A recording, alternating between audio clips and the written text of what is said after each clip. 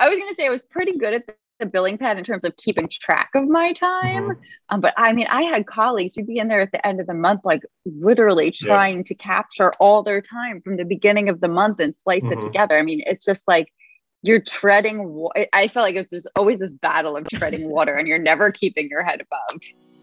Welcome to The Defense Never Rests with Morgan and Akins, your monthly dose of uncommon sense about all things legal and some that are not. Hi, everyone. Welcome to this episode of The Defense Never Rests. I'm your host, Meghan Henry, and I'm joined by my co host, Nate Bolander. Hi, Nate. Good morning, Meghan. How are you doing? Okay, I'm doing well. How about yourself? Good. My eyes are. I'm looking at my eyes. I got the circles are getting darker and bigger uh, as the baby gets older. I was going to say, I think you're looking more rested.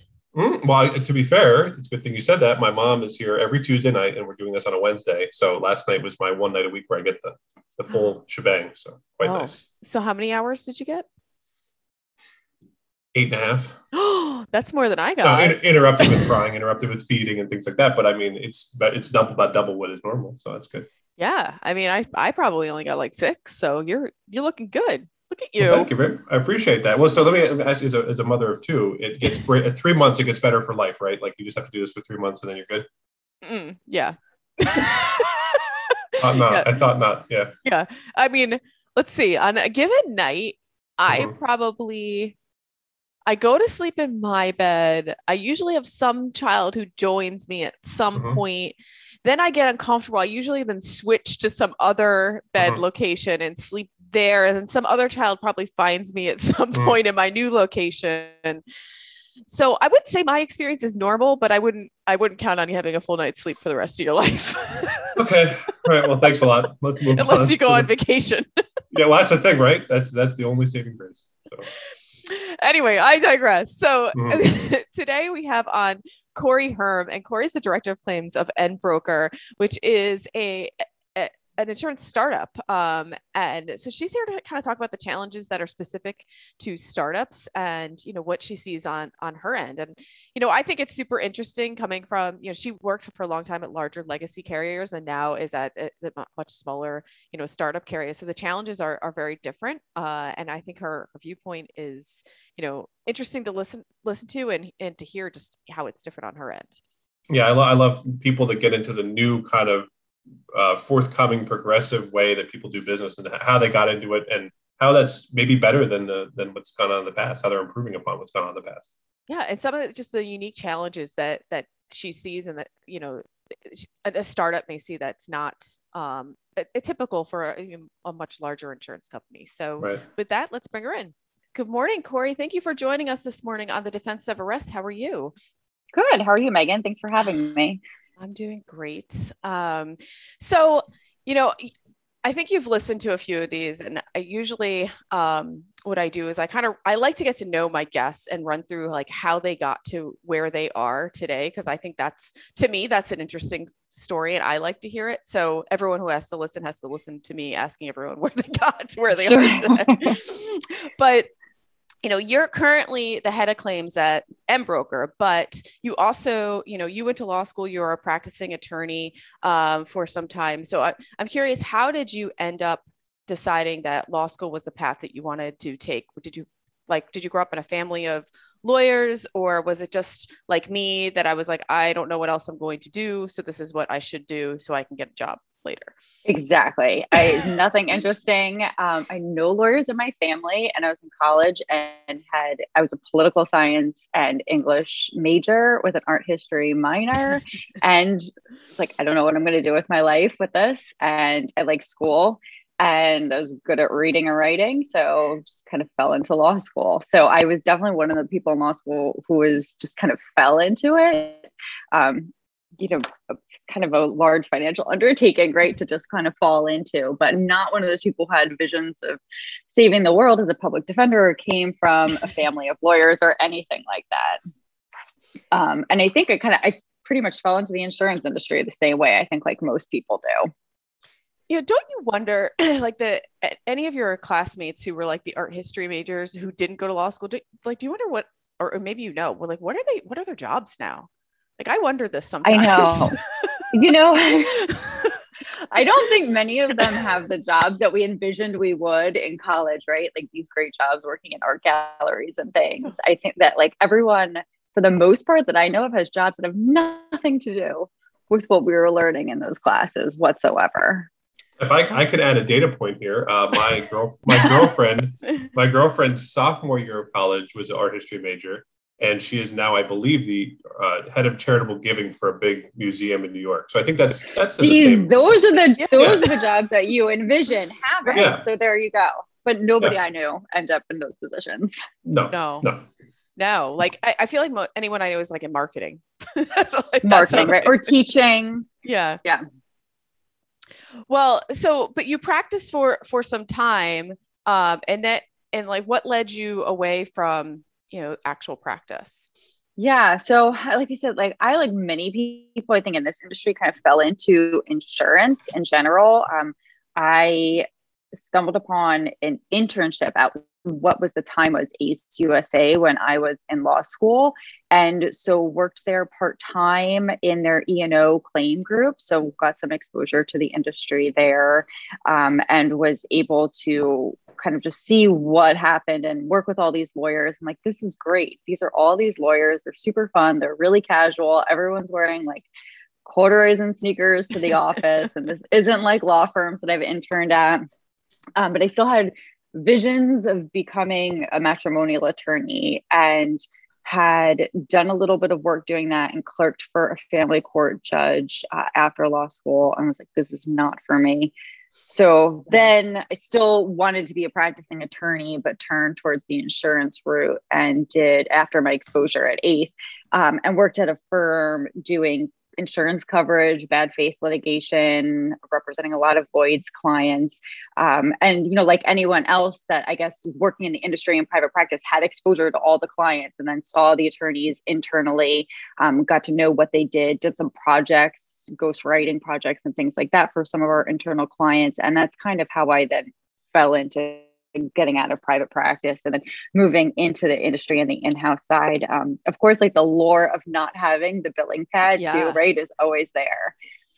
What's the allure of that? I don't understand. I love it. You love that billing pad yeah, right at you the have, end yeah, of the month?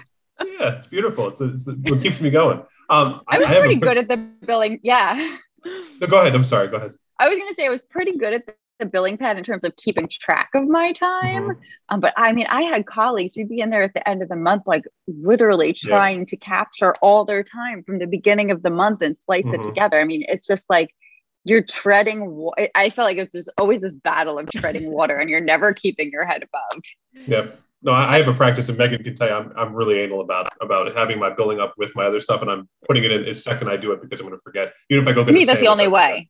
Yeah, exactly. Yeah. I want to I want to go back because we have we share a path here. You you clerked in family court after law school. I did. Yes. So where, where was it? Okay, it was Jersey. Was it was it dependency court or was it custody and divorce court or, or were they merged in Jersey?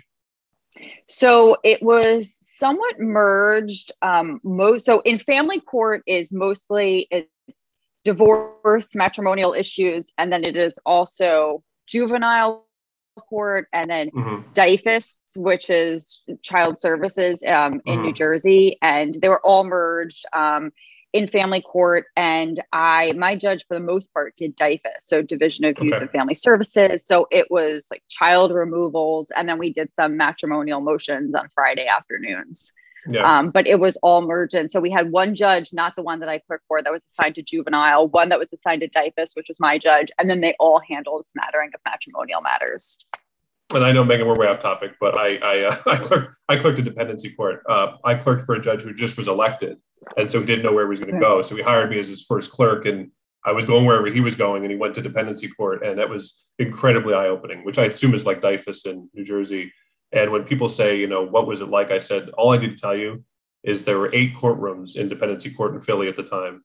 And we heard 30 to 40 cases a day of dependents. I mean, that, that just that tells, that just tells, yeah, that just tells you the volume that you're dealing with and what the problem is like in, in Philly. So I I digress. I've, I've really ruined the mood now of the, podcast. Meghan, Meghan, bring it back. Let's let's well, I, well, I, bring it back to insurance. Yeah. Although no, I wanted to touch back on it though because that is something I've hear, heard so much about from people that I, I feel like I know so many people who in law school wanted to go the family law route and then you know had some touch on it either they had internships with family law attorneys during during law school or you know clerked or whatever outside of law school and none of them do it now. I think i think because of maybe that experience you had i think it's just really emotionally hard to it is to completely emotionally draining in different ways right? Like Yeah. i felt like the matrimonial work was emotionally draining um, because your clients are very needy it is probably like the worst time in their personal lives and nothing you can do will make them happy yeah I think you just have to be a certain type of personality to do that. And then doing like um, Nate saying on the dependency side is just emotionally draining from a completely different perspective. Um, I mean, I hate to say from no other way to put it. I mean, it's just depressing. It's really depressing and emotionally draining. Um, and I know in the court where I worked, they would rotate the judges out of that cycle every two years. I think it was for that reason specifically. yeah I remember the Yeah. first case I ever had, 8 a.m. the first day, the first day I ever had a legal job, the first day of my clerkship. The first case that came before the court was a woman who had a mother who had burned her son's face, who was like one year old with a, with an iron on purpose. oh was crying and she just she put the iron on his face. That was the first day for number one case. And I said, this is going to be a tough, a tough, Tough year. And yeah, Yeah. yeah, Yeah. exactly. Oof. I mean Hence I- my then pivoting towards insurance Yeah, let's get into that. Can we please get out of this? after my clerkship. Thank you. Can we please get out of this this chasm we're in? so yeah you want to get over to where there's the the civil claims that you know someone negligently burned someone in the face Exactly.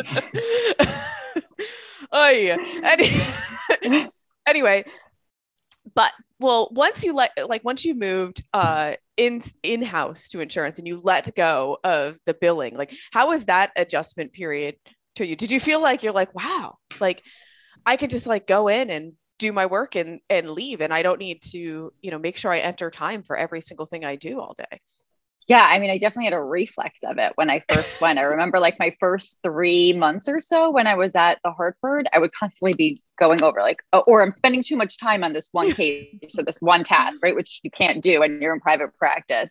I need to move on to something else.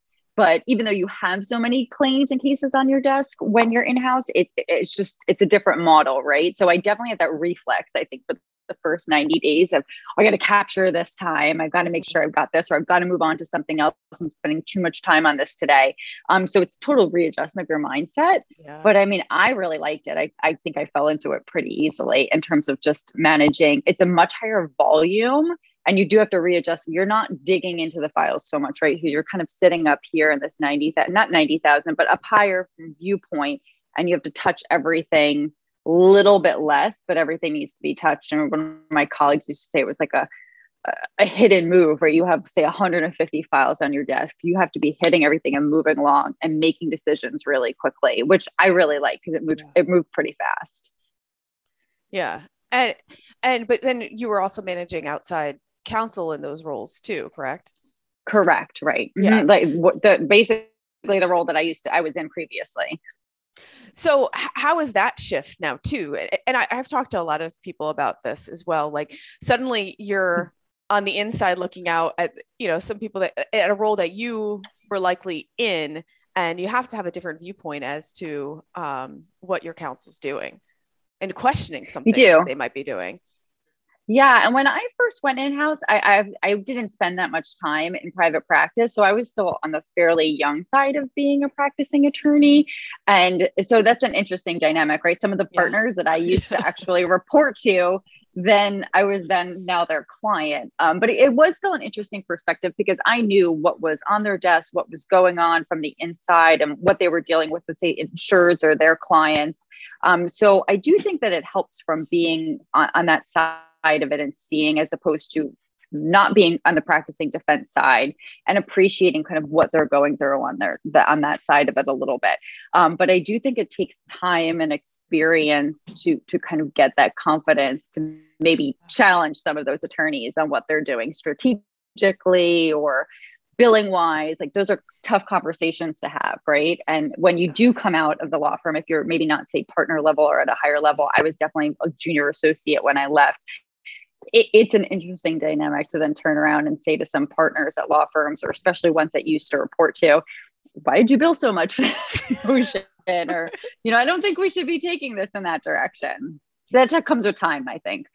And did you find that even though like you were like a junior, as you said, junior associate when you left, like did you find like once you went like inside insurance companies, did you find like there was a lot of more interest in you and your role from people that either at your old firm or other people you had like associated with something like people want to get work from you. Suddenly did you have a lot of new friends?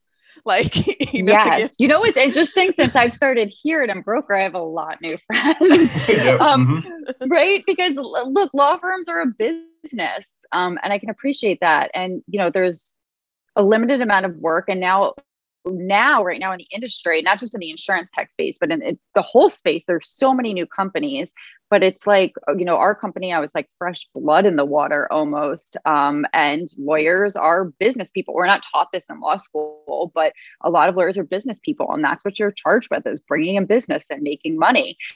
So yeah i mean i, I do i did see that and i'm mm-hmm. seeing it now kind of all over again. Um, yeah you know people with the interest in the business. And i can appreciate why again because law firms are a business and, and you have to find it somehow. And that's something that I, I wasn't at least taught in law school is part of the job. I was just I, always say at conferences when you go to conferences you know who the claims folks are and who the attorneys are because you see one person surrounded by a circle of other people. I said you could definitely tell who's who. You know, everyone's like yeah. sharks in the water trying to. It's literally like sharks yeah. in the water. Yeah. Um, I, my question was when you when you say that you're an attorney, when you tell that your your uh, assigned counsel that you're an attorney, do you see them change the way they're reporting or change the way that they talk to you? Because when you, when people say claims folks, and then people say I'm a former attorney who has moved to the insurance industry, do you find that people's mindset changes and they they kind of know that they're talking to someone a little more seasoned in that role and they've been on the other side?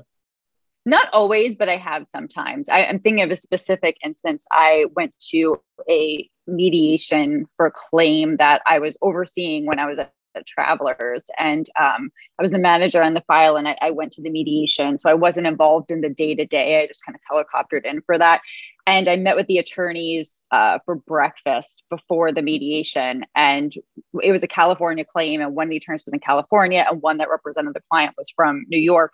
And I was talking about some of the elements for that to meet for disability discrimination claims and uh, taking reasonable steps to accommodate. And one of them looked at me and she said, "Are you a lawyer?" and and it, it, completely changed the conversation mm-hmm. and the dynamic I had with them after that. And that's not always the case. And I've worked with a lot of claims folks that are not attorneys but have been doing it for 20 yeah. 30 40 years mm-hmm. right and and are just as tuned into everything as attorneys but there are yeah definitely certain circumstances where i've seen that happen well i also feel like from like from our standpoint like it, you have to have respect for the the claims folk even if they they ha- they're not attorneys they probably know more than you like right we, yeah. you know they've seen more things and more scenarios come across their desks I, am willing to bet more than like Nate and I have seen just from the sheer right. volume and experience. And oftentimes the non-attorneys have worked in so many different lines of business. So they yeah. bring all that perspective in, right? They might be working in commercial specialty lines now, but they've done GL or property or something like that in the past. So they're really bringing all these different perspectives and hats in from the insurance perspective, right? That none of us might have. Yeah. And I mean, I feel like it, it's, it would almost it's hurtful to counsel who like don't understand that or don't appreciate that. Like I, I would imagine if I were in like your shoes and I had a counsel like trying to give me like I know better attitude because I'm an attorney, I it would just completely turn me off. Be like, mm. yeah. so exactly. Sure and you know, and then the, yeah, and that's the other thing too. Like a lot of these claims folks, attorneys are not have been embedded in the industry for so long and we're handling such a volume of cases that we have our own relationships, right, with plaintiffs' counsel. I mean, I, I Nate, I'm thinking of one specific in the Philly area, and every time I, I kept coming across him for a while, every time I see him in the mediation, he'd sigh at me, oh, Miss Hurm, here you are again. Um, and you oh, know, come on, give us a name. Give us a name. Let's. Oh. No, you're not. I'm kidding. I'm kidding. You're not kidding. Oh, okay. All right. hey, listen, if you're going to, I was edit that out. Um, they have relationships with the mediators, right? Because the, these claims folks are handling hundreds and thousands of cases, oftentimes within the jurisdiction with which they sit.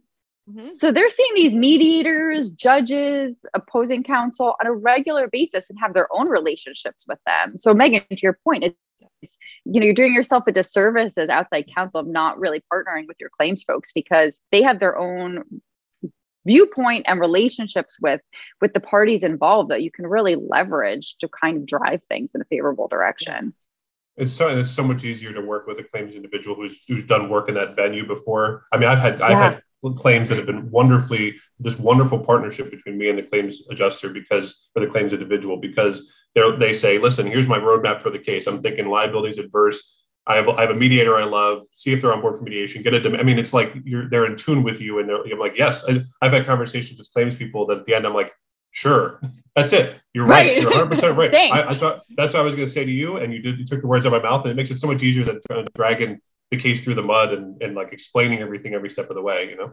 Yeah. Yeah, exactly. Like utilize their expertise, and like you just said, Nate, they're so attuned to a lot of times the jurisdictions with which they're in mm-hmm. if they're handling cases there specifically and you know the mediators and the judges and the juries and how and you know that's just a resource that it, it's a shame not to to try and utilize right to drive your claim right. yeah it certainly helps to move move things along to i mean what do we all want typically is to close close files so I mean, mm. certainly working right. together is going to assist that process exactly so you know, I, I want to pivot over to Embroker and, you know, can you talk to us a little bit about how it came that this opportunity, I mean, came to you and how, how you know, how you were to embrace, you know, basically starting working at a startup and, you know, how, how that came to over to your desk, I should say.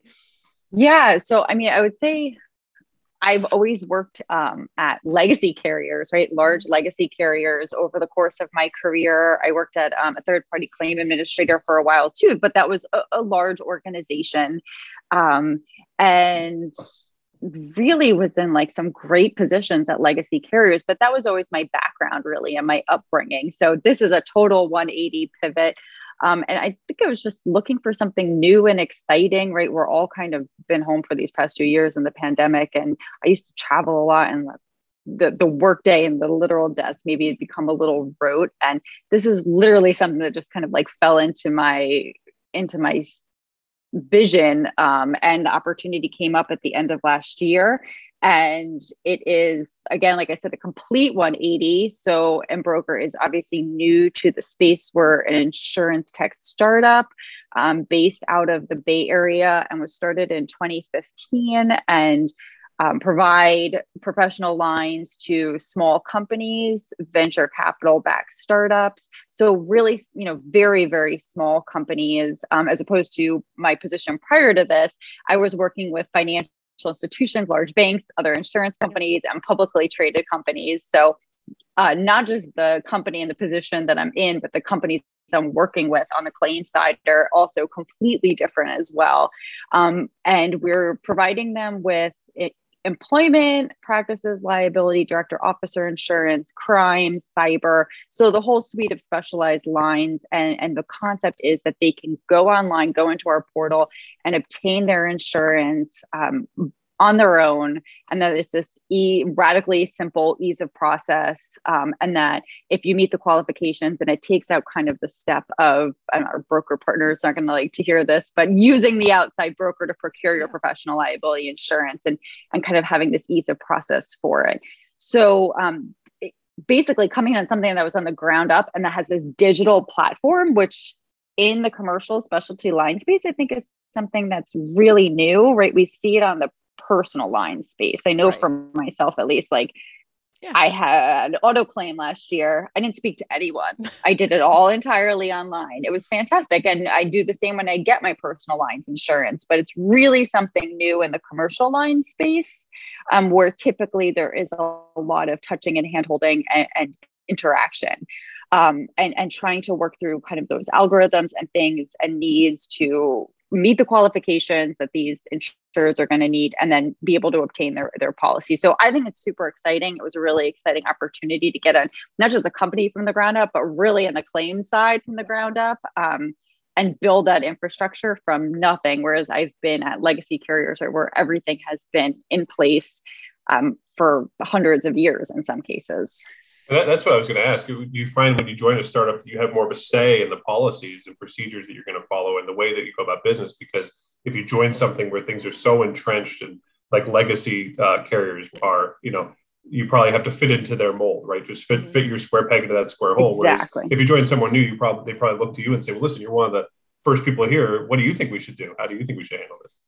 That's exactly it. And that's part of the reason I came, but it's definitely a shift, right? It's like coming from the law firm to in-house, um, where it's like, I think we should do this. And in this, eh, right in the startup field, it's like, we'll do it. We don't have anything. Like, you know, right. okay, so go forth and do it. And let's Right. do it next week. Right. Whereas at a Right. larger company, whether it's insurance or not, if you want to implement a change, it's you know longer term vision for for smaller changes. Here Right. it's right we have nothing. So we have to put into place something. So it's it's not so much you, of that like mother may i mentality that you have to Mhm. get out of right from being at a larger carrier it's just like great go do it. You know make Right. sure you get that done by the end of next week. Um, Right. so you have something. Yeah. Which is exciting. Um, sometimes though i sit back and like oh i hope this works. Um, but the thing i think the part of it is is that a lot of things aren't going to work that we do. Um, and that's maybe i'd say part of the fun but part of the challenge of it is that we are going to fail at certain things or i'm going to fail at certain things. And then it's learning from those mistakes and pivoting off of those in a relatively quick fashion as well to, to put something better in place. Yeah, because you must be encountered with so many things that weren't even part of your your sphere before, you know, like like you know when you're Yeah. working for a legacy carrier and you know a lot of things things are already set and they're in, in line and you just kind Sure. of follow hop on the train and you know go to the destination and now you're you're creating the course and Yeah. i mean there must be some things that you're like i didn't even know this was a thing and now i need to make a decision about it yeah like i mean there's literally no infrastructure right and Yeah. The company has been around since 2015 and i believe selling policies since 2016 right? Uh, but we all know that the claims come in a lag. Yeah. Um, and the claim the world of our claims is still relatively small but right there's no infrastructure. So when i came in november there's so many things I, i'd be working on. Oh wait i don't have a panel. Oh wait not only do i don't have a panel well i'll start to put that together but i have no defense guidelines. So it's like every time you take one step forward you see something else and you have to take two steps back because right you don't have any of that infrastructure that you have to put in place. Um, and i think being at the legacy carriers where everything is not only in place but it, they're well-oiled machines i'm so used to this level of perfection that has to be let go of because i don't have any infrastructure so I have to put something in place and it's not going to be perfect. And I have to be okay Yeah. with it. It just has to be functional. As long as it's functional right now, like we can work to get to perfect one day. Um, Yeah. But right now, functional is kind of the baseline of what we're looking for. and it, it's also from a cost standpoint there's i'm sure there are challenges it's not like you don't have an open checkbook just to spend on, on any not that you do it at Yeah. legacy carrier I, either but it's certainly like the, there is probably more of an eye to the bottom line and what you're spending on certain things and you can't just hire you know just to hire Right. like you need to be mindful of how you're spending money Right. And I would say the resources are different. Yeah. Right. Um, like here, there's been a couple circumstances where I've had needs for certain things, or I have uh, myself, and someone said to me, Well, why don't you hire a consultant to take care of this for a couple months on a part time basis? So those are like resources that are, right, they, they be more. Um, you can be more economically flexible and have those type of resources where i think that you didn't have those availability of resources at a larger legacy care where everything is so structured and you might have just more overall resources but here you can be more creative about it because you do be, have to be more conscious of budget and things like that but you still have to get things done. So you can be a little bit more creative and say okay yeah maybe i'll hire a consultant on a part-time basis to work on this project with me. I don't need to hire uh, do an ad to staff for it. Um, or maybe i can procure this software that's already been put together as opposed to you know us internally hiring a team to build something out and that might be more economically beneficial so it, it forces us like this level of creativity and sourcing Mhm. and things um, because right like you're saying you don't have all these unlimited resources for everything Are you, are you working on different types of lines? Because you mentioned kind of more unique and niche lines you're working on now versus when you were at the legacy carrier. Was it more broad and do you enjoy it more now? I think it's a, it is a little bit more broad. Um, I have always in my career been an EPL and D&O specialist. Okay. Um, and I did do some when I was at the TPA, some E&O, LPL work. And here we're really offering most of those lines of business. We have an LPL program as well, and then are offering the D&O, um, EPL, crime, cyber, fiduciary. I really personally have not had a lot of experience in cyber, so it's been stretching my legs that way, and I do think it's fun. Um, I always have said, you know, when I went to the TPA, I kind of went I don't say kicking and screaming, but handled E and LPL claims with kicking and screaming because my specialty was always D and O and EPL. But I do think it's good for folks to have experience in so many lines of business, right? It's great to be an expert in one, but to have and maybe have dabbled at some point in all these different lines of business mm-hmm. on any side, but special, I'm thinking specialty commercial lines because that's what I'm in. Um, and to really have that experience, because then you could pivot easily or be in this position. You know, I'm really trying to literally went to CLM two weeks after I started to educate myself on cyber claims yeah. um, and the current state of the cyber world. And it's going good we have resources we can do that. But um, I think if you have some of that exposure, you can pivot very easily. But I do, I mean, it is fun. I do like kind of having a hand in all these different lines of business right now. Yeah. And so, what in the lines um, that you're handling, like what what have you seen the most shift and change in since like the the start of your career you know when you started in D&O it, like what what have, how have you seen the, it shift and the types of claims you see? I would say i mean i don't know about in the types of claims that we see. I would say that right now at least i feel like we're tending to see things that are we see claims from process and they're not li- necessarily in litigation right away. And right now, I'd say in the past six months, I feel like I'm tending to see claims and folks more willing on both sides, plaintiff and opposing counsel and our insureds willing to settle pre-litigation or come to some sort of resolution and things starting more as a pre-litigation type of claim than complaints just landing on our desk out of nowhere. Yeah. Um, I'm I feel like you know I intake all of our new claims and I'd say the majority of them are pre-litigation circumstances, whether they're demand letters or on the EEOC side, administrative charges, um, or just notices of circumstances or draft complaints. I'm seeing more of that than just things just charging right into litigation and folks trying to work through um, resolutions prior to litigation being filed. And I don't know if that's a result of like the past two years and the COVID environment or people not being as litigious. I don't think it's a bad thing though, because since my career started, I also think a major shift has been defense fees as a result of aggressive plaintiffs' counsels have just become astronomical. Mm-hmm. Yeah. Um, I would say, and I have worked both now and in my previous positions, not just with panel counsel type of partners that we have relationships with, but all different types of law firms when insurers have choice of counsel. And it's across the board. It's just um, and plaintiffs counsel has become extremely aggressive over the course of the past maybe say five six years and has really driven the cost of defending claims up. So the shift towards maybe potentially earlier resolutions is potentially favorable i think yeah. because defense costs have just become astronomical. So what sort of tactics are you seeing you know from counsel that like are, are there what are those aggressive tactics that you've been seeing I mean, it definitely like scorched earth litigation tactics yeah. um, in some circumstances, right? In California, they love that. Um, and I think they love to kind of press upon this current state of social inflation. And a lot of these topics and things are kind of out there in the media and social media, and it's having an influence on society in the United States at large. And then, therefore, potential jurors' opinions, especially in certain parts of the country. And they are plaintiffs' counsel, I'm talking about, is leveraging that, absolutely yeah. leveraging that to kind of scare opposing counsel and the insurance industry, I think. I mean, I really think that they're they have been leveraging that to share to scare the insurance industry into settling claims and then that's really just pushing the value of them up right because folks are saying, yeah. I can't let this get to a jury trial in downtown LA. So I'm going to pay a premium to settle this. but that's just increasing the value of everything unnecessarily. And I do think there has to be a, a reset on that um, in, in some regard because it's just going to become unsustainable at some point. Yeah. You, so, do you see a difference between urban versus rural environments? I mean, you just mentioned South, central LA.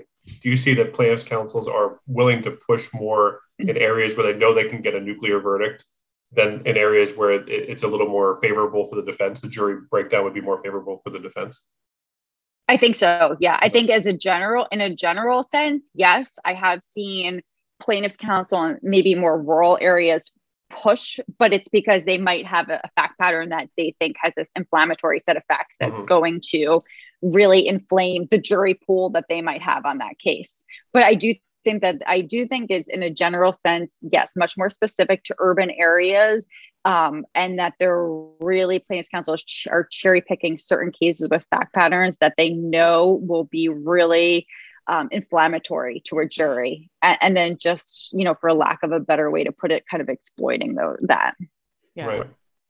I, I do think to touch back on the how you're seeing the resolution on pre like or more things come across your desk pre-suit um, and a willingness to resolve them early. I, I it is my like my humble opinion that COVID does have a lot to do with that because there's such a backup in in the courts and try like yeah. they're not no one's seeing trials like they there there's not you can't hold that over anyone's head anymore that the trial costs are going to be so significant because trials are so far down even further down the road than they ever were before and i right. know the courts are trying but it's just like there was a two year backup like there's only so much that they really can can do um so I, I do think that's probably why we're seeing you know a willingness to you know kind, kind of get things done pre-suit because avoid the costs avoid the costs of filing a complaint and you know the filing fees alone and then they're like if we can just sit down and talk maybe about this without going through that effort with or without defense counsel. I mean just talk talk to corrie or with some of your people and then you know maybe you can get it done without having all these extra fees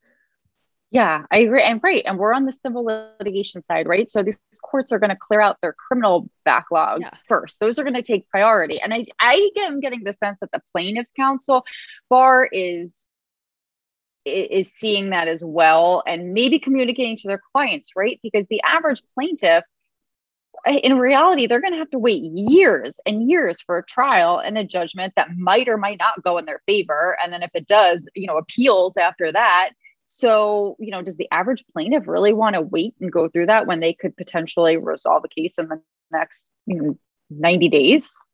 Right. And move on and with I their think, lives? I, you know, and I, sorry, go ahead. No, go ahead. and, and I think courts are more, courts are more, uh, vociferous about you know when you get to the pretrial phase did you try to resolve this and i think of one especially in federal court i do some federal yes. court work because i do aviation law so i remove a lot to federal court and judges are always you know when you go to when you start your pretrial they, they basically say without saying, if you waste my time on a case that you could have settled six months ago, and if you can go back and say, Your Honor, I, I, hate to I hate to tattle on my opposing counsel, but here's some emails where I wanted to mediate this three months ago, and they didn't even respond to me. The judge will. I, have had judges say, "Go mediate and come back to me." I mean, almost, they're going to throw you it, over to the magistrate, right? Mm-hmm. Like goodbye. Exactly. exactly. Yeah. And and I think I think even in state court, they would have done that five or ten years ago. I think now there's built-in mechanisms to, for alternate alternate dispute resolution that wasn't there a decade ago. So I think there's a they know if they don't participate on the front end, the, the judge is going to have a problem on the back end. Yeah. Yeah, no, I agree with that. And I think another thing that's indic- in, indicative of this is that a lot of the mediators right now are backed up. They're oh booked oh for mm-hmm. months. Yes. They're booked into the summer. Yep. I know. No, I just tried to schedule a mediation. I thought we were going to get it scheduled like the end of March, and now it's the end of June. yeah, exactly. Yeah, which is to me another sign, right? That that everyone's looking to try and resolve matters. Yeah. So, what are some challenges that you've seen, you know, with council you know, being being a startup and having again, you have cost restraints and and you also have specialty lines. So, I'm sure you're seeing some, you know, pain points and issues with outside counsel and costs and how it affects your bottom line. Yeah, I think a lot of that has to do with, you know, there's different types of policies out there, right? There's policies in specialty lines that are duty to defend that turn the defense when the policy is triggered over to the carrier. And then in those circumstances, we would appoint counsel off of, you know, say a panel that we have with pre negotiated rates and counsel that we're familiar with. And then there's policies that give insured choice of counsel. Um, and they can choose counsel, um, and the rates are kind of what they are. Um, and I think that that drives a huge difference in terms of if you're just looking at bottom line numbers. Um, absolutely. Because if you're looking at a firm that's charging, say, $1,200 an hour to defend a D&O claim um, on a, cho- a, policy where the insured has choice of counsel versus one where it's duty to defend. And of course, you know, you always hear the arguments from the insureds, well, this is your cut rate attorney. Well, it's not because if you walked in off the street, you would not be paying this rate, right? It's the benefit of having the insurance and our relationship with these lawyers that you're getting this rate. Um, but just those numbers alone, it's really eye opening to com- to do that comparison. I have seen it and and see the difference.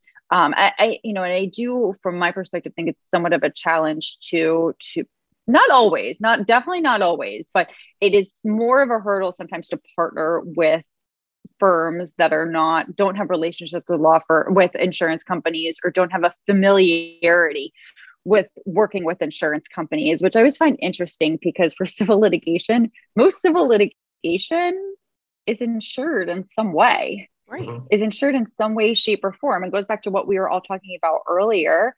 It, it you know, it's it behooves you to to partner with your insurance carrier partners yeah. and not make an enemy out of them or not look at yourselves as adverse parties, which I don't think happens as much as it used to, but it still happens. And it just is strange to me. Um, and I don't understand why sometimes law firms don't want to partner with the insurance carrier partners um, to, to, try and resolve claims for their clients. But I, I think that the, the matter is, in ter- again, just the bottom line of you're looking at different centers of rates. Um, and I think that matters are just looked at differently as well. I was talking to an insured recently and she was saying a general counsel at insured um, i was saying you know i think that this law firm is they have their litigation hat on and they're doing a great job but they just have blinders on they're litigating. And now the fact that we're litigating this matter and it's out there, it's affecting my company in different ways, our ability to fundraise, um, because we have this litigation out there. And so we have a business need to not have this litigation going on anymore. But the law firm's not thinking like that. They're just thinking with their litigation hat on. Um, and so that's a challenge that I, I see frequently. And and so going from you know being at a legacy carrier and over to like an in, like insurtech do you have you seen a difference in kind of like the and I, you alluded to this earlier too that's where i'm going with this like the the type of insurance you have in you know in your portfolio. Like you they're i imagine and maybe correct me if i'm wrong they're probably they're smaller and they they them too might not have a lot of the checks and balances in base in place as some of you know the insured you may have seen at your legacy carriers. Is, are you finding seeing that as to be accurate Absolutely, especially because in my position at my prior um, position before I came to Embroker, I was managing claims for publicly traded companies and financial institutions. Totally different. right. So, yeah, I mean, large publicly traded companies with risk management, human resources, general counsel's offices. This is totally different. You're right, and and not that my prior employers didn't have those small books of business, but I just necessarily wasn't always working on them. But yeah, absolutely, Mike and these the insurers that we're working with are very small companies. Um, oftentimes they're startup companies themselves and are really just trying to find their their legs. And it, I think it's it, it's sometimes fun to work with these insureds yeah. too because they're really smart folks, and oftentimes we are working with founders or CEOs, people that really got these companies off the ground, and they're aware that there are these risks or needs, but or need, just need some education around them and they're looking for it. I had a call with an insured last week to literally go line by line through their cyber and tech policy with them and talk about what it meant and what it covered. And they initiated that because they really wanted an education on that. Yeah. So there's more of an ability to kind of get out in front um, and work with these insureds to help educate them. And they want to know what their risks are and then what are their coverage needs and what you know counsel or, or vendor needs do they have um, and I do I'm a, I appreciate that there there is this kind of um, awareness that they have in getting in front of things and they're doing it necessarily not after they get a claim but before especially in the oh, cyber yeah. front i'm seeing that that there's a very much an awareness of that. And and you have to appreciate that from you know as an insurer be like oh i'm so glad they're getting in front of this and not you know we're not after the fact. And like shit exactly. Yeah. I mean we had this call last week with an insurer to like i said to go over their cyber policy. And you know they said, thank you for your time. It's like I, I think this is great like that you really want to get in front of and try and prevent claims. Yeah and then in the event that you have them understand what your coverage will be and what the needs will be in terms of i mean they were doing so much due diligence that they wanted to know what our panel breach counsel were so they could interview them and have somebody in place in the event of a breach. I mean so they were really getting in front of it. So yeah i definitely said there's like a real appreciation for that. And one of the funniest things i always hear when, we, when you finish a big case and it usually when, when you settle a case no one's really happy. That's like isn't that what people say it's the sign of a good settlement where no one's happy? So you go to you go to the insured and the insured may be a product manufacturer. It's their baby right? They've they've developed it over the course of 50 years and they have all these safety features and everything else. And you say you know they say listen we're so sick of dealing with these claims. They're all the same. There's always the same problem with our product. And of course the the very um, common sense response from me is why don't we look into why? Right? Can we can right. we look at your warnings? Can we look at your manuals? Can we look at your production line? Can we look and they say well listen we just paid this huge thing out you know, we, we just, you know, our insurance company did, but we just got hit with this. We've spent enough money for now because that's going to cost money to do that. So they go down the road and then six months later, I get a call, same kind of claim, same venue. And by the way, the plaintiff's attorneys are talking, right? They're on these, they're right. on these group chats and they're saying, well, listen, I just hit this client, there's this company for this much. Why don't you try it? I have the same kind of fact pattern. And they've already made the roadmap for it. So it's just frustrating to, to see the same thing over and over again. It gives us work, right? So, I mean, it's like, fair enough. But uh, but I, I don't know why people don't have the foresight like you're talking about to say, listen, we've had five of the same claims. Maybe we should go and spend a little money on the front end to, to fix this. Right. Right. And not be so reactionary. Right. And I think that's yeah. historically what our clients all tend to do. Yep. Um, but uh, yeah, I, I think it's interesting. A lot of the the the insurers that we're seeing in the startup space, you know, really intelligent folks and obviously don't work in this world, but they have an awareness that these risks are there and really want to have an understanding of it. Mm-hmm. And that's something new that I've never seen before. And I think it's great.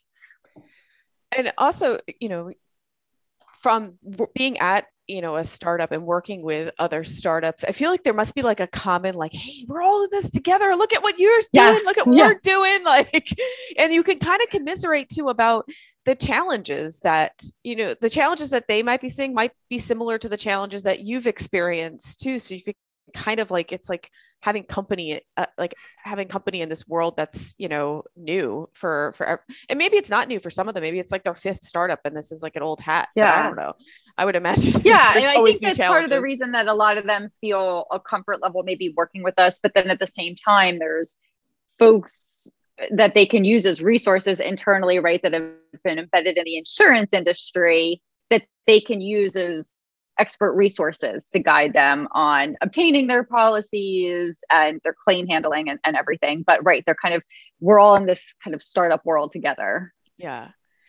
And so do you, and does this platform that Embroker uses, do I mean, I, I think my answer is yes to my question, but you know, I, I mean, making it so user friendly for, for an entity to you know obtain their you know their EPL coverage and their D&O coverage or their cyber coverage. Like I feel like this is like how things are shifting away to, to make these processes a little easier and less daunting than having to go sit with the broker and having them you know write it like figure out the whole policy. It might not be for everybody but it seems like this is how right. the market is shifting I think so. Yeah. And I think that's why our CEO, Matt Miller, started Embroker was because he saw that that's the way things are shifting. And we, we live in such a digital world. Mm-hmm. Um, and especially for small companies of this nature, is it necessary to sit through that process of with a broker? And that takes weeks, sometimes months to obtain yeah. your insurance, right? We're not talking about the targets of the world where you know they're they're large and there's so much risk and so much involved in procuring coverage and we're talking about the small companies, and it shouldn't have to be so difficult, especially in this digital world. And that's exactly why they, you know, Matt started this company. And I really think that things are moving that way. Do you, yeah. do you find that your insurance have picked you because of that? They're they're sick of doing. I think so. Long? Yes. Yeah. Yeah. Yeah. Right. And everybody and and everybody's living in a digital world, I think, right now, regardless of what your nature of your business is and the ease of being able to procure the insurance, right? When you're a business, I think for most people, like, well, it's just something that uh, to do, right? You, I have to get insurance. They don't want to be spending hours and days and weeks getting it. It's the ease of process. So yeah, I think yeah. that is absolutely things that are making the the platform attractive to them. Right. Yeah. And I mean, you, have seen in the last like however so many years like this rise of like like look at like Pie for like comp insurance and then you've seen these rise of like all these insurtech companies like filling the filling the space to to make a you know a, a consumer model that works. Yeah. I mean i know i was speaking to somebody recently who said that they were looking for an apartment in in brooklyn and um, and they did the application. They had to get renter's insurance bef- before they applied and they didn't realize that. And they're like, it literally went outside on the street on my phone. I went to Lemonade and, and got a policy in, in five minutes. yep. Yep. One of the coolest things I've ever heard is I do, I do some aviation work. So there's drone, uh, okay. recreational drone users and you can turn insurance on and off every half hour, which is the coolest thing. I mean, there's a there's a company out there that you go out with your drone, you get all set up, you get your phone, you say, okay, start insurance, you fly around, just end insurance, and you, you pay 17 bucks or so. It's like you know renting one of those yeah renting one of those scooters in downtown you know Nashville, oh. right? It's like you well, just turn it on and off. Right. Nate speaks from experience. you know what's funny? I was going to say renting scooters in downtown cities, and then I thought of Corrie. I after a long night in Nashville, I rented a scooter by myself to get. To, I was going out to try to find dessert at three in the morning because I was ready for dessert, and and I I rented a scooter. I went down the street, turned left, went. I, I, I hit the curb, went over the handlebars, ripped my suit, brought this brought the scooter back in front of the hotel, parked it, and I woke up the next morning not so with it. And I checked my phone. I had rented a scooter for ninety seconds. so this has become. So you are not the first person that's told me a story like that. really good. Thank. You. I was hoping I wasn't the only degenerate that was that had done this, but I don't think ill of me. It was a long, a long, a long evening. But I.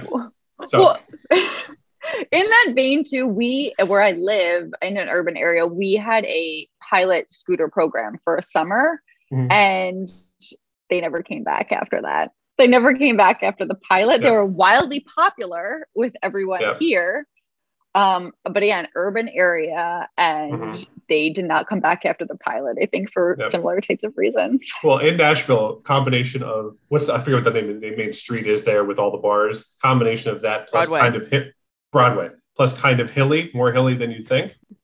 I okay. mean, not a good not a good combo, especially for me. So. Anyways. Yeah, and in an urban area, I mean, I won't even ride a bike. I don't even trust myself to ride the bike around, right? right. Yeah. Um, yeah. So so okay, will, Meghan, take it away. I'll, well, no, I have I, I have to talk about the scooters quickly too because I a few years ago we were in DC and they're everywhere in DC and while they're convenient, I, they add such a mess because people just mm-hmm. drop them wherever they want. Like they don't park them back where they might belong. They just like I'm done with my scooter and they just like leave it on the on the sidewalk or leave it on the front steps of a museum or whatever it may be. And I'm like, this is I, I could see why like your your city after the pilot program was like maybe we don't want these scooters around. And like all these people flying around on scooters no idea what they're doing and they crashing into everything. Yeah. Yeah.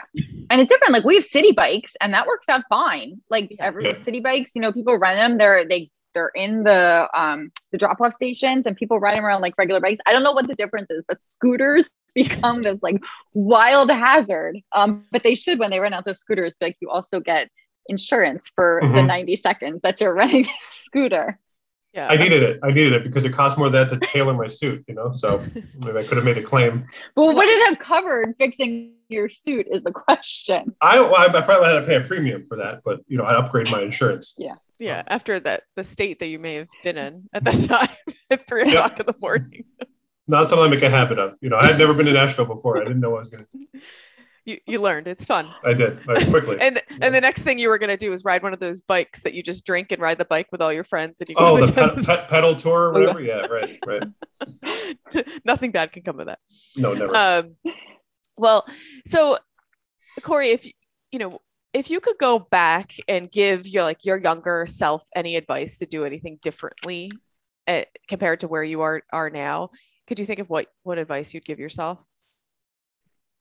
I think part of it would be what I was mentioning before is to force myself to kind of branch out and like dabble in more different lines of business to get experience in them and really push that. And I really, I almost feel like companies should do that too, because um, I think that folks get so entrenched in becoming, say, D&O experts or EPL experts or cyber experts. That's great because you have people are so embedded in those lines and really have historical knowledge but then that really from a career perspective kind of pigeonholes you right? Um, and it, it makes it difficult and sometimes you get bored or you just want to learn something new. So i think that it helps to push yourself and i would have told myself to do that um, and and try to branch out a little bit more that way. And i think that that just from a career perspective then opens up a lot more possibilities to you and then even makes it easier if you end up in a position like i am now where you're handling all the lines of business, even if you just had some experience in all of them to kind of get your legs under you and get off and running. Yeah. And do you still like from when you were in private practice, do you still like hear from or keep in touch with any of like the partners or attorneys that you worked for? Like, are they still your friend? Are they still knocking down on your door? They're, they're de- no, but they're like my legitimate friends. That's Um, good. yeah, I actually I took some time off in between my prior position and starting here and met with the the partner that I work for for coffee. Um, and they are just such a good group of people. And I actually recently was saying we were I was talking with my coworkers about where um, we learn different things. And one of the partners that I worked for my old firm, I said I, he literally taught me how to mediate a case. I literally like went with him, and he was an expert. And he, I watched him, and he taught me how to mediate a case. Um, and then I a couple weeks after that reached out to him with my new information. And he said to me corrie i remember when i taught you how to mediate a case um, so they're all still my friends. They actually invited me to a retirement party for somebody in the industry that they're hosting next week. So yes the, the long answer is yes. And they're actually my my real friends not just my good. business friends as well. Yeah. I, I you know i think a, a benefit of this industry that a lot of people don't realize is and i have you know friends that we go to each other's weddings and and do vacations together that I've met through the industry, either we're colleagues or just met through other people, is that it is it's a large, tight knit industry, and there are some really great people in it in terms of being business partners, but also on a personal level as well. Mhm. Yep. Yeah. And I do find that's like when, um, like I, I didn't cap, I didn't grasp that concept early on. I think, well, no one explained to me like how to market. I think coming, you know, Yeah. early in my career, they're like, just said, just go market. And I was like, well, what does that mean? What's that mean? you know, and it took a while to figure it out, but it was really just like find people you like and just talk to the people you Right. like and develop relationships with them. And that's like, that's the most genuine marketing time you can, you can spend because it doesn't feel like you're, do- it doesn't feel like something on their back and it's not forced. You're like just Yeah. cultivating relationships with people that you enjoy being around. Right. And then it's, you know, I can't wait to see Meghan and have lunch with her when she's in town, as opposed to, oh, this lawyer wants to take me out to lunch. um, yeah, that's another one of those things they don't teach you in law school. No. And I, I don't know if it's changed, but I feel like it should. Like I, I I feel like in law school they need to teach you, you know, okay, you're gonna go i- if you go if you to opt to take this route that you're gonna go work for a law firm, there's some things you need to know. Like, okay, most law firms are paid by insurance companies. Well, this is like this was never explained to me. I never Yeah. Understood that your clients, like the people the insurance that you're representing, like you're being paid by the like this never no one ever walked through to me till I got to my first job and I was like, oh, this is what it is. Yeah. Yep. like unless you're going to go work in government or um, for non for profit, there needs to be some sort of business class in Mhm, law school, mhm. right? Because again, law firms are a business in terms of how do you get business and keep your clients. And I mean, I think I, I went to one mandatory um, session about how to deal with your client, um, uh, you know, your client accounts when I was admitted to the bar. That was, you know, put on by New York State about how not to commingle funds. That was it. And it was really like an ethics thing. But there really needs to be like some business training, I think, in law school because you learn all these legal concepts and then you go to a law firm and you're like, oh, wait, we're making money here. And how am I supposed to do that? Right. It's People, not just people have asked me, about, you know, litigating cases. yeah, people have asked me how would you change law school having been through it, and I always say make it two years and make it more practical and less theory, because you're in the you're you're in this Yeah. philosophical, you know, like cl- cloud in the sky all the time. It's all so fluffy, and, and, you, and it was funny when I was clerking, I signed up a client in a Starbucks. I met a client in a Starbucks just randomly in the line, and they, she had a criminal case against her. And she said, I, "I like you a lot. I want to hire you. What do we do?" And I didn't. I had no clue. I was a bar admitted attorney in Pennsylvania in a, in a Philadelphia Starbucks, and I said, "I don't know, ma'am. I don't know how to do that." And I had to Yeah. like go research it, and I, I ended up signing up for five hundred dollars for her double felony, which um, wasn't market rated, but that was a lot of money when But- clerking anyway. So that I digress. But it's yeah, you're right. You, you don't learn boots on the ground, practical stuff, and I always say that that's the Yeah. thing that's missing in law school. It Yeah. really is. And I remember somebody once just literally mentioning in passing in law school, my third year, you need to learn how to network and do it well. And I was like, what does that even mean? And it just went, shh. I was like, no, you don't. You just have to practice law. And it's right. And it was like a really true statement. But like just to say that to a third year law student, especially ones that are, you know, in their early 20s, it means nothing. I mean, give some practicality around that. Yeah. And I mean, I would even take it further though. I think, and it's something I never did well is it, you need to network before law school. Like one of my really mm-hmm. good friends from college always was talking about building her network. And I'm like, what the hell is she talking about?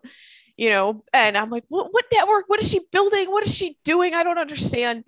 And I was looking back not so long ago. She was my very first connection on LinkedIn. And I'm still very good friends with her today, but she has used her network to get like to propel her so so far in her career and but she started it early and had a mindset of doing it early whereas i was like oh like i want to go drinking like i don't building my network Like I have friends. So, right. I just, I think that the, the younger generations are more attuned to that. I, I Yeah. feel like I'm Mhm. seeing a lot of um, younger attorneys and like you're saying law students or people breaking into the field are being much more proactive that way than We say fo- we might have been.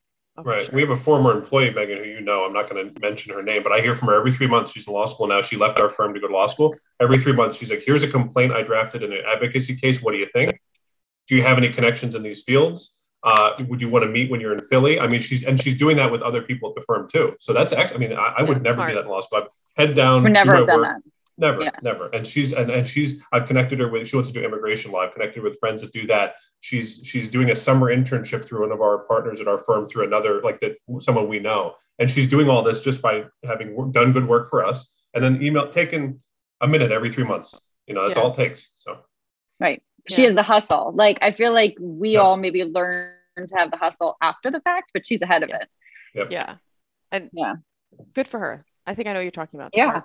She's young and, and I feel like Yeah. they're more in tune with that than we than I was certainly. I agree. Yeah. I agree, Nate.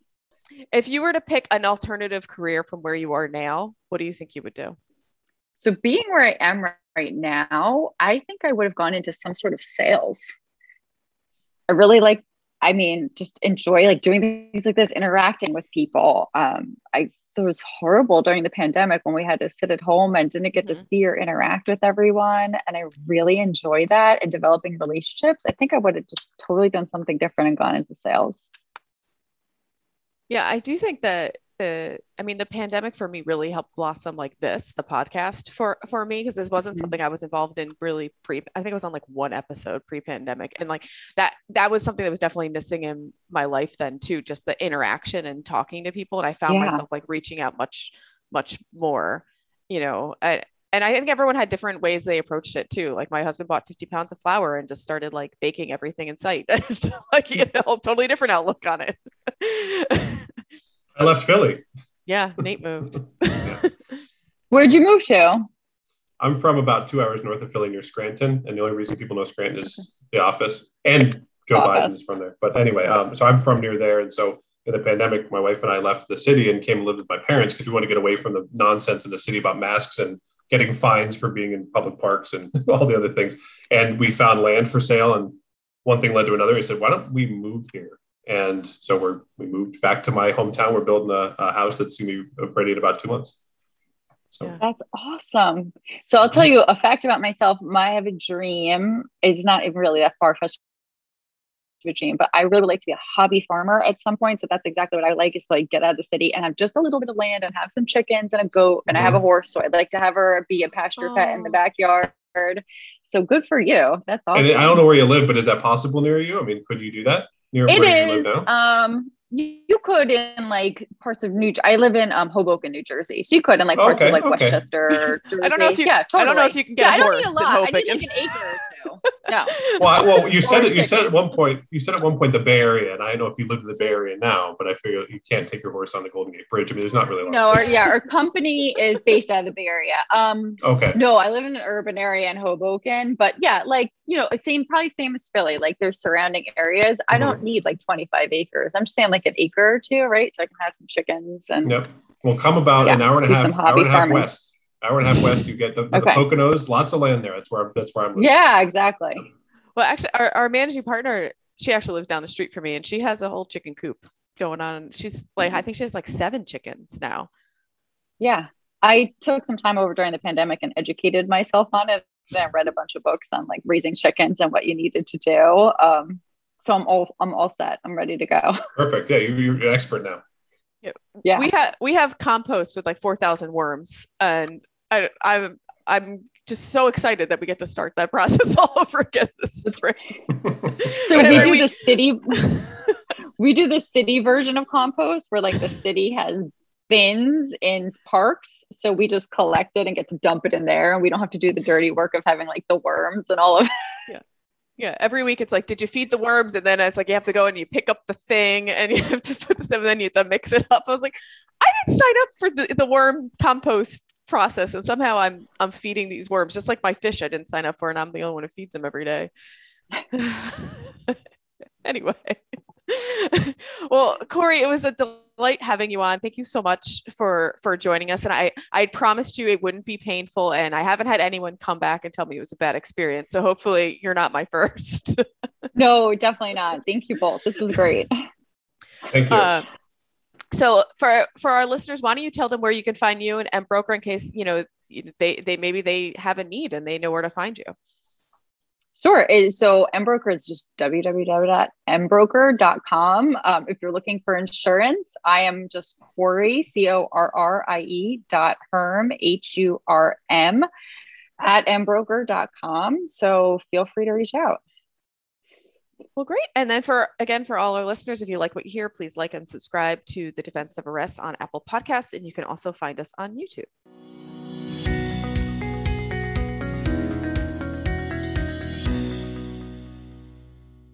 I got the um the V-neck burgundy memo, which is good.